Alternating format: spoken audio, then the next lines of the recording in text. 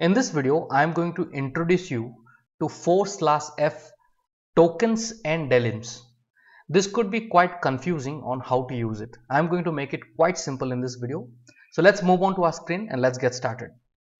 Alright, to understand the tokens and delims, let's do the very first thing of creating a simple text file. With that, we are going to learn. So first of all, let me create a text document and name it as my text.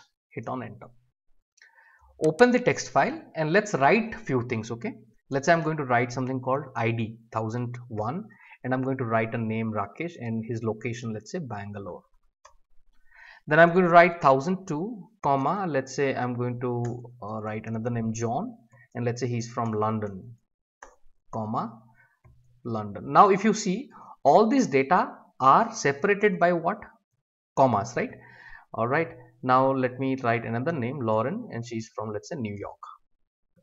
So all these three data are separated by comma. So let's save this file.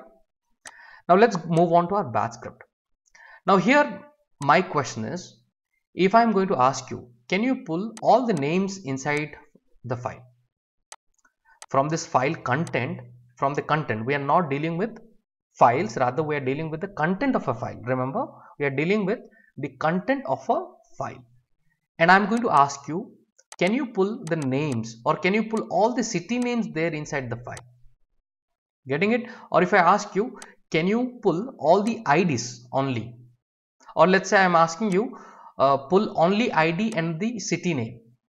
Any combination of data I'm asking you how will you pull that in batch script so for that we'll be using something called tokens and delims.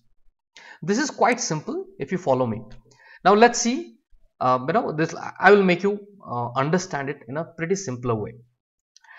So let's say, let me write for and this and anytime we have to deal with the files or the file contents, I'll be using the switch F. Getting it? Now here, let's understand you know how this tokens and delims will work. Okay. Let's first see the syntax and I'm going to explain you pretty well, not to worry about it. So within the with and this tokens has to be written within the double quotes. So i will say tokens. Okay? And i'm simply saying one i'll explain you. Okay let me write the command first. Tokens. And then i have to give a space and i will say delims. Delims means what? Anywhere you find a comma or a space anything that separates a word that becomes a delimiter.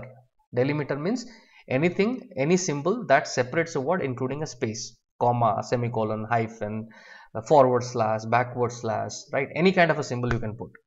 So those are known as delimiters. So here in the command I am writing delims equals to and I am mentioning comma. So what is the meaning? In the file or in the content of a file, if you find any comma, then do whatever you want. I am going to explain. So here I will write percentage, percentage G, okay, in in which file? In the my text file right? The name of the file is my text my text.txt did i put two double yeah, dot txt and i'm going to quote it. All right. So what is happening? This my dot text dot txt we have to get into the file because your script may not know where that file is located. So what we will do? We will do a use a cd command and go to that location where that file exists else you can also mention the entire path here. But again that will become too clumsy to read. So i am using a cd command to get inside the directory and looking for that file. Okay? Simple. And in the same place you can write backward slash my text entire path you can mention. But again that will become quite lengthy to read. Okay. So here what i'm going to do say do. Do and i'm going to write a multi-line command. So i'll use a parenthesis and end with a parenthesis and in between let's write the code so what I will do, I'll simply say echo percentage percentage g.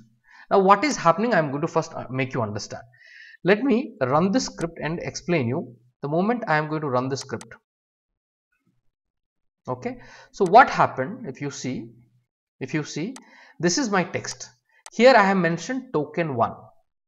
The moment I have mentioned token 1, 1001, 1002 from each line. How many lines are there? 1, 2, 3. So it will check inside the file how many lines are there there are three lines now in each line separated by comma there are three values one two three values here also you can see 1 2 3 1 2 3 there are three three values now here I want to pick the first value. So when I say token equals to 1, it is picking the first value and your output is 1001, 1002, 1003. Now let's see if I make it to 2. 2 means what? It will see you go to each line. By default, it will break by line. Okay, by default, this slash f will break it by line by line. Okay, it will break by line by line. If you see, this is the first line, second line, third line and then I am saying 2 means divided by comma. So, in first line the second value. So, the second value is this, the third value is this. Getting it? So, when I am saying second value, this time your output will be what? The names will appear if I run it. You can see all the names has appeared Rakesh, John, Lauren. If I have to pull the city names, all I have to do I will slightly change this to 3. Now there will be multiple questions coming. Now you have understood right how it is working. Okay. Now there will be multiple questions. I am going to address that also.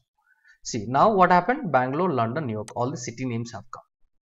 Now let's say I would like to see um, um, uh, two values.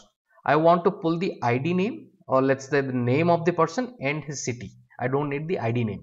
So what I will do, I'll mention 2, comma 3 okay. Now here percentage g is only one variable.